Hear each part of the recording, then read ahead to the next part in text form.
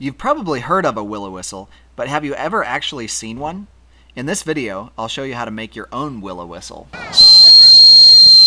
The first thing you need to do is find a willow branch with green bark. Cut a small wedge out of the bark and into the wood just a little.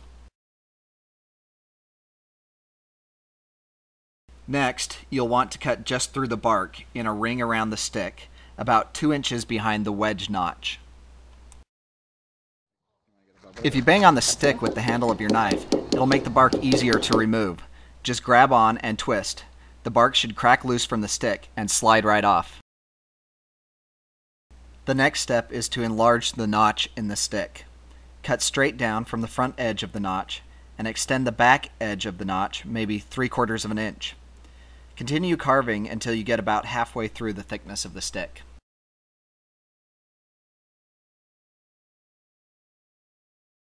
The final cutting step is to shave off a flat plane on top of the stick, in front of the notch. When you're all done, the stick will look like this.